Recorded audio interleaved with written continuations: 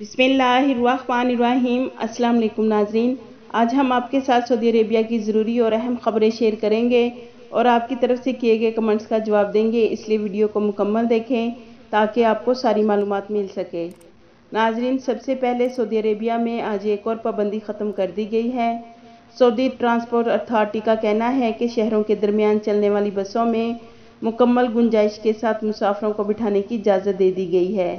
नाजरीन, कोरोना की सूरत हाल का जायज़ा लेने के बाद मुसाफरों में फ़िज़िकल डिस्टेंस को मुकम्मल तौर पर ख़त्म करके सफ़र करने की इजाज़त दे दी है। नाजरीन, बसों के लिए मुसाफरों की मुकम्मल गुंजाइश के कानून का इतलाक़, स्कूल बस मुलाजमीन को लाने और ले जाने वाली ट्रांसपोर्ट, हज उम्र और ज़्यारत के लिए इस्तेमाल होने वाली बसों और सैनिमार्स में मेहमानों की आमदोरफ्त के लिए स्पेशल बसों में भी होगा। नाजरीन, चौदह नवंबर बरोज़तवार को, यानी आज से तमाम ट्रांसपोर्ट में मुसाफरों को मुकम्मल गुंजाइश के साथ सफ़र करने की इजाज़त दे दी गई है। अल्हम्दुलिल्लाह नाजरीन, ये बहुत अच्छी खबर है। सऊदी अरेबिया में एक एक करके तमाम पाबंदियाँ ख़त्म की जा रही हैं और मामूलत ज़िंदगी कोरोना से पहले वाली बहाल हो रही है।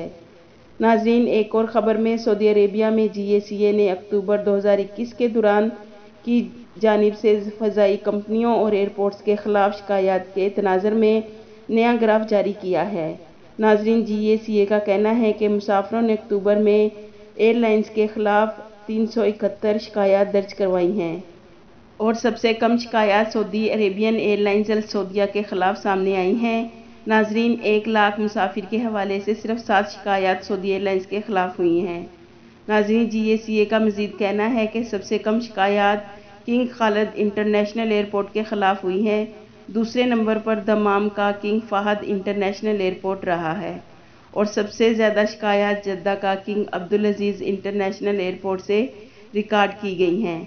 नाजरीन जी ए सी ए ने तमाम एयरलाइंस और एयरपोर्ट्स को ख़बरदार किया है और कहा है कि मुसाफरों को बेहतर से बेहतरीन सहूलत फ्राहम की जाए। जैसा कि नाजरीन, आपको मालूम है कि सऊदी अरेबिया में गैर कानूनी तौर पर क्याम करने वालों के ख़िलाफ़ मुल्क भर में कार्रवाई की जा रही है।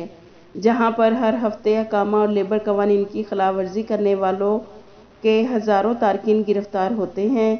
नाजरीन गुज्त हफ़्ते के दौरान ममलिकत भर में जारी तफ्तीश के नतीजे में चौदह हज़ार नौ सौ बत्तीस गैर कानूनी तारकिन को गिरफ़्तार किया गया है।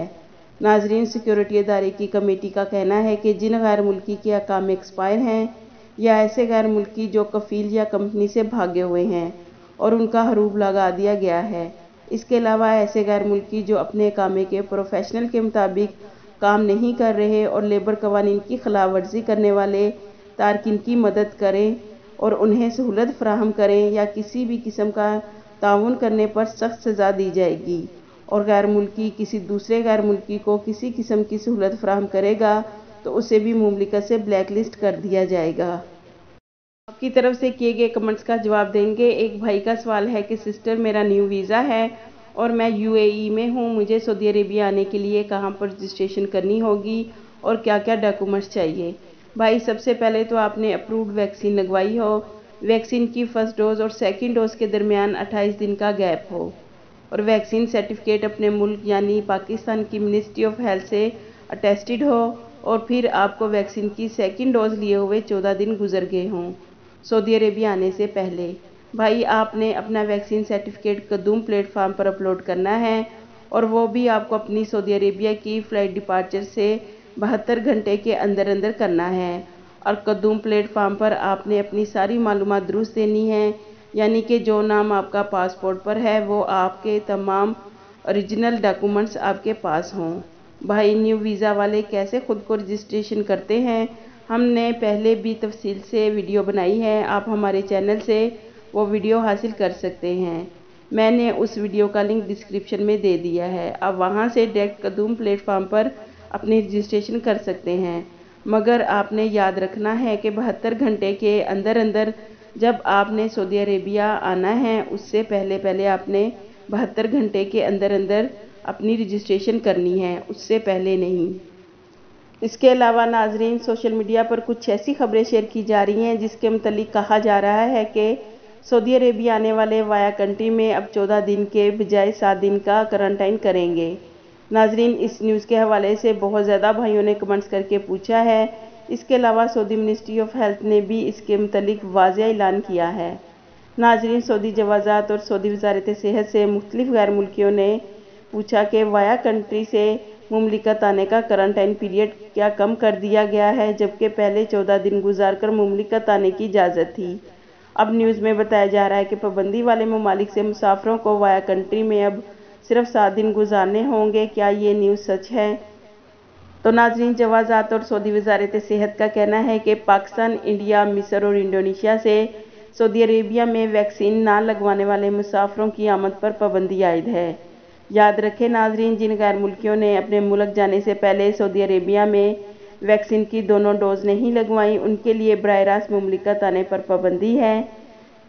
जिसकी वजह से ऐसे ममालिक से आने वाले मुसाफिर बर रास्त सऊदी अरेबिया नहीं आ सकते, बल्कि वो किसी ऐसे मुल्क में चौदह दिन गुजारने के बाद ममलिकत आ सकते हैं। नाजरीन, मिनिस्ट्री ऑफ़ हेल्थ ने दोबारा से वार्निंग जारी कर दी है कि ऐसे गैर मुल्की अफराद जो सोशल मीडिया पर इस तरह की न्यूज़ शेयर कर रहे हैं कि वाया ममालिक से आने वाले अब सात दिन का करंटाइन करेंगे। अब चौदह दिन के करंटाइन वाली शर्त सऊदी गवर्नमेंट ने ख़त्म कर दी है। जबकि नाजरीन, ये सिर्फ़ और सिर्फ़ बेमायनी, झूठी और मनगढ़ंत खबर है। इस खबर में कोई सच्चाई नहीं है। नाजरीन, अगर आप किसी भी ममालिक से वाया सऊदी अरेबिया आ रहे हैं तो आपको लाजमी चौदह दिन उस ममालिक में गुजारने होंगे, जहाँ से मुसाफरों को ममलिकत आने की इजाज़त है। नाजरीन, सऊदी महकमा जवाजात और सऊदी वजारत सेहत ने इसके मतलब मुकम्मल वजाहत जारी कर दी है। उम्मीद है कि आपको भी इस न्यूज़ से काफ़ी ज़्यादा इन्फॉर्मेशन मिली होगी। मज़ीद सऊदी अरेबिया की ख़बरों से बाखबर रहने के लिए हमारे चैनल को सब्सक्राइब कर दें ताकि सऊदिया की लेटेस्ट अपडेट आप तक बसानी पहुँच सके। आपके कीमती वक्त का शुक्रिया।